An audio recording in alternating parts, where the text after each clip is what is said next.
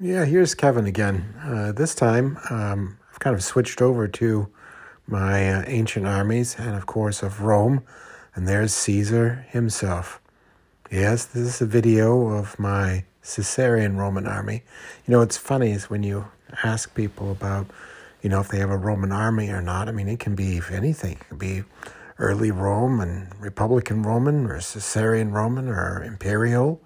It could be late Rome Byzantines. It can be a lot of different things. But when I think of a Roman army, this is the one that comes to my mind. Um, this and maybe the imperial one. But this is uh, a really unique army, and um, yeah, I'm really excited about showing it. So, you know, let's uh, let's get in and see what this thing looks like uh, in its entirety. So here they are, my Caesarian Romans. I'm particularly very proud of these. I, I really enjoy these figures. It's um, forged in battle and Essex. I had two uh, legions from Essex. I couldn't couldn't part from them because I still thought they were really great figures. But when I got the forged in battle figures, I really enjoyed painting them up. And um, they really, really turned out nice. So the ones that I, I, uh, well, I tried to organize them um, for more flexibility. So for an example, this is a 10 cohort legion, or could be. Um, let me see if I can pan in a little bit further.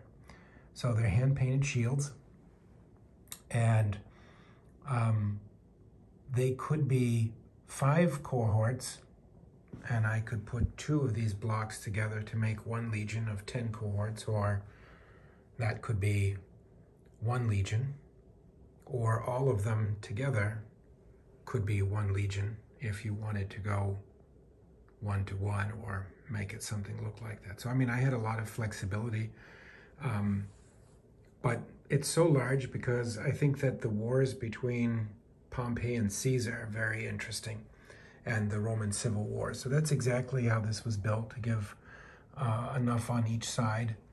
And um, yeah, I, I, think they, they turned out really great. I tried to give them a little bit of, of uh, variation in their shield patterns.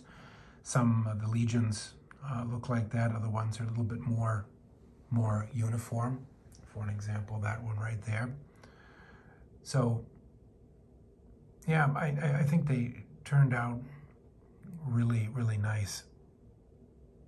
This one here has, uh, you know, the double boars on each side of the shield. I think that turns out nice. But those are decals. That was uh, uh, done with a, with a decal. Uh, those were done a little bit cheaper with nothing on them at all. And, uh, and then these were done much, much later with, with um, hand painted uh, you can see the different airs of, of, uh, of painting. So I tried to morph them all in so that it looked like one army. Don't know if I achieved it very well, but I think it looks looks pretty nice. This is uh, the Caesar uh, command stand. I don't know how people get that. Um, he's uh, reading a battle map. It could be Caesar, it could be Pompey. Then I've got uh, this Roman commander here too. So um, that could be either either or with uh, with their lictors, uh, etc. So anyway, two different commanders, and then each legion has its its uh, centurion and its commanders, and um, yeah, then of course you can't forget the light troops. Uh, a few Cretan archers, slingers, Balearic slingers from the Spanish Isles, um, just some light troops, and each each legion has some in the front. I could put out a lot more. I just didn't for this, but I could probably triple or quadruple the amount of light skirmishers out there.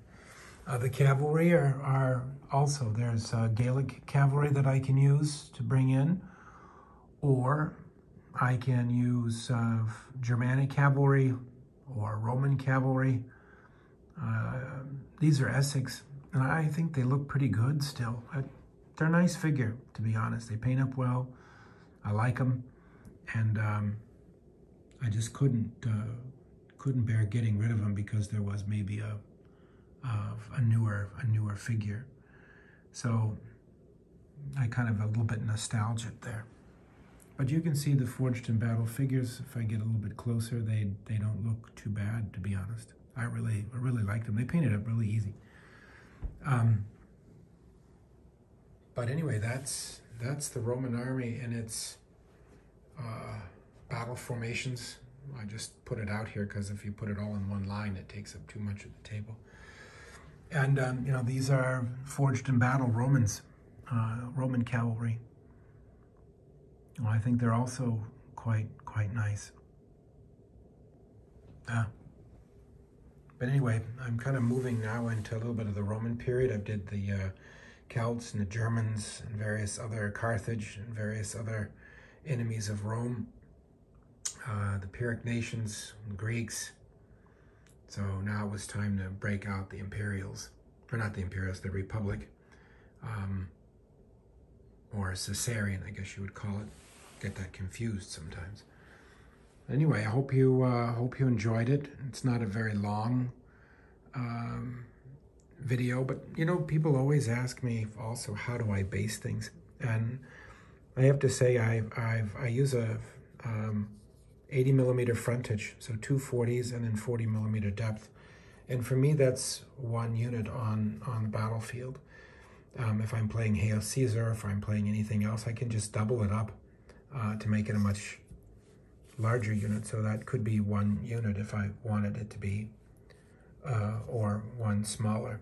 Sometimes I'm mounted on 40 by 40 stands, um, but I think that, that for me that's one unit, one tactical unit, and well, I think it works out great. I'm going to be trying a couple of other new rule sets in the next month. Uh, Age of Hannibal from the um,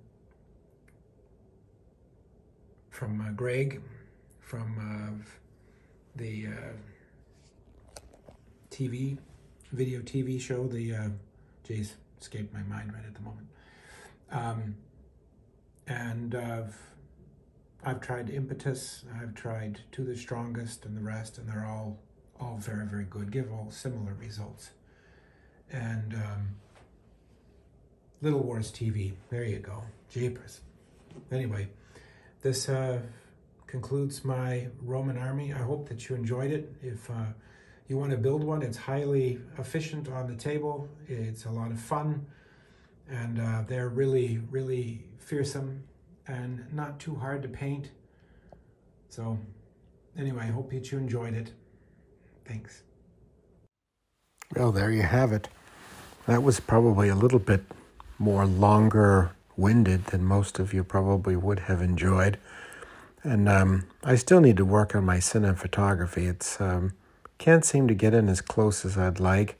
But then again, with 15 millimeter, I'm a little bit nervous of getting in as close. Uh, they're not as uh, pretty, of course, as 25 millimeter, but yeah, I, I, think they're I think they're they're really nice. You know, it's it's the um, you know fighting against the Gauls or um, the Roman civil wars or even wars uh, in the East uh, against Mithridates, uh, etc. I mean, you can use this army for a lot of different different airs, different flexibility, and anyway, I'm very partial to it. It uh, it's not as homogeneous as I would like it to be. It was painted over a many year period of time, so I hope that you enjoyed it and. Uh, yeah, I'll catch you on my on my next one. Take care.